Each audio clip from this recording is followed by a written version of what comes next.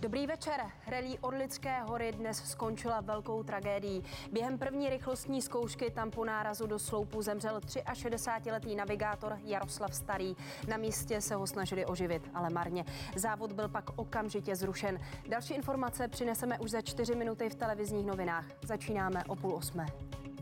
Vám ukážeme akci, kterou rozjelo ministerstvo financí. Vyslalo své zaměstnance, aby se vydávali za gamblery a pomohli tak odhalit nelegální herny. Tato velká razie proběhla v noci v Praze a kamera televize Nova byla jako jediná u toho.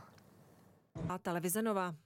A kolegyně Karla Mráčková ještě jednou. Karlo, v Praze 3 je nulová tolerance vůči hernám. Jak je to v ostatních částech Prahy?